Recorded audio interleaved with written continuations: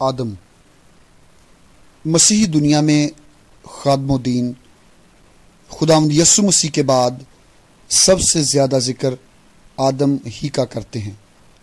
लफ्स आदम Bible मुकदस में 560 मरतबा आया है। बाजुकात इसमें मारफा की सूरत में।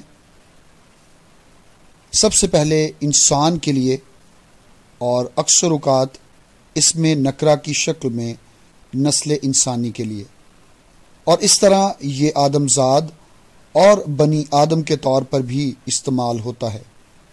आदम ज़मीन की मट्टी से बनाया गया और खुदामद खुदा ने इसके नथनों में ज़िंदगी का दम फूंका तो वो जीती जान हुआ। खुदामन खुदा ने आदम को लेकर बाग अदन में रखा कि इसकी बागबानी और निगहबानी करे। और इसे हुक्म दिया कि तू बाग के हर दरख्त का फल बेरोक टोक खा सकता है, लेकिन नेको बद की पहचान के दरख्त का फल कभी ना खाना, क्योंकि जिस रोज तूने इसमें से खाया, तू मरा। खुदामन खुदा ने आदम के लिए एक मददगार, इसकी मानद बनाया, जिसे देखकर आदम ने शायराना अंदाज में कहा यह तो अब मेरी हड्डियों में से हड्डी और मेरे गोश्त में से गोश्त है, इसलिए वो नारी कहलाएगी। सांप ने हवा को बहकाया और उसने ममनुआ दरख्त का फल ना सिर्फ़ खुद खा लिया, बल्कि आदम को भी खिलाया। यूँ दोनों खाल के खुदा के हजूर गुनाहगार ठहरे। और बाग अदन से बाहर निकाल दिए गए। आदम ने कुल 930 बरस उम्र पाई और खुदामंद खुदा के कौल के मुताबिक बिलाखर मर गया। खुदामंद खुदा ने आदम और हवा को अपनी सूरत पर पैदा किया और उन्हें बाग अदन में रखा ताकि वो इनसे रफाकत रख सके। इस रफाकत और शराकत के लिए खुदा ने पहल की और वो खुद ही ठंडे वक्त पर इनसे मिलने बाग अदन में आया करता था। हतमी तौर पर नहीं कहा जा सकता कि यह रफाकत कितने अरसे तक कायम रही और वो क्या बातें थी जो इनके दरमियान में हुआ करती थी। तहम ये ज़रूर जानना ज़रूरी है कि गुनाह के सबब से इनकी, यानी खुदा और इंसान की रफाकत टूट गई। इस तरह खालिक खुदा और इंसान के माबैन जुदाई की दीवार खड़ी हो गई। लेकिन यसु की सिलिबी मौत और मुर्दों में से जी उठने के सबब से ये दीवार हमेशा हमेशा के लिए ढा दी गई। खुदा की सूरत पर, खालिक खुदा की हम जैसी शक्लो शबाहत नहीं, बल्कि वो रूह है और एक मुकम्मल शख्सियत का मालिक है।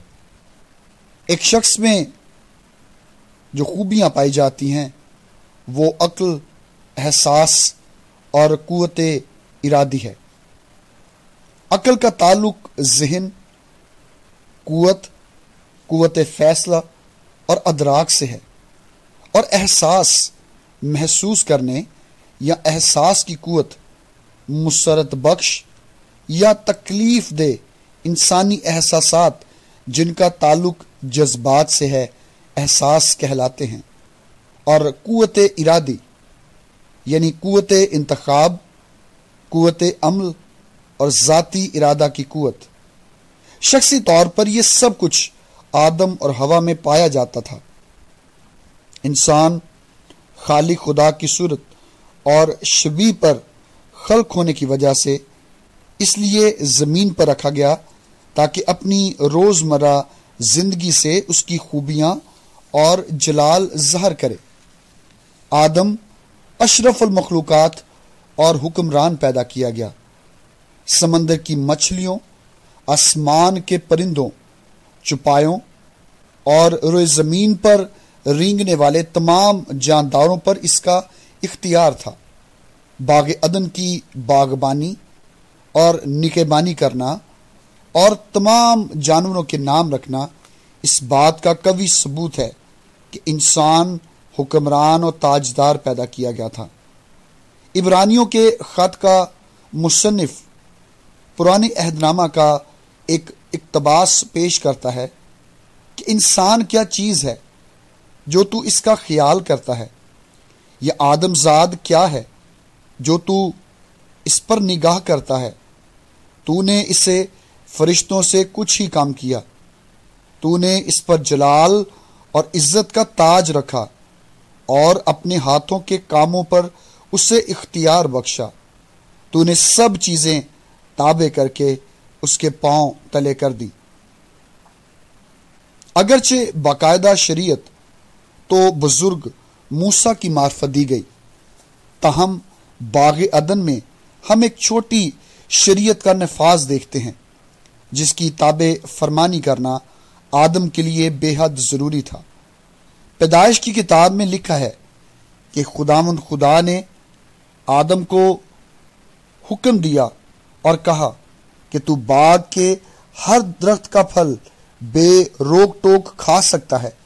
लेकिन नेकोबद की पहचान के दरख्त का कभी ना खाना, क्योंकि जिस रोज तूने इसमें से खाया, तू मरा।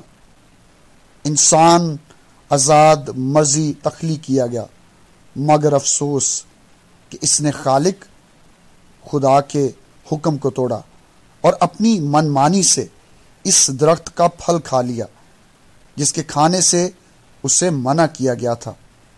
यूँ अद में दिए जाने वाली इब्तदाई शरीयत की अदूलिय हुक्मी के बायस उन्हें बाग अदन से निकाल दिया गया। आदम, खालिक खुदा की सूरत पर खल्क होने की वजह से इसका रफीक कार और बाख्तियार हाकिम बनाया गया।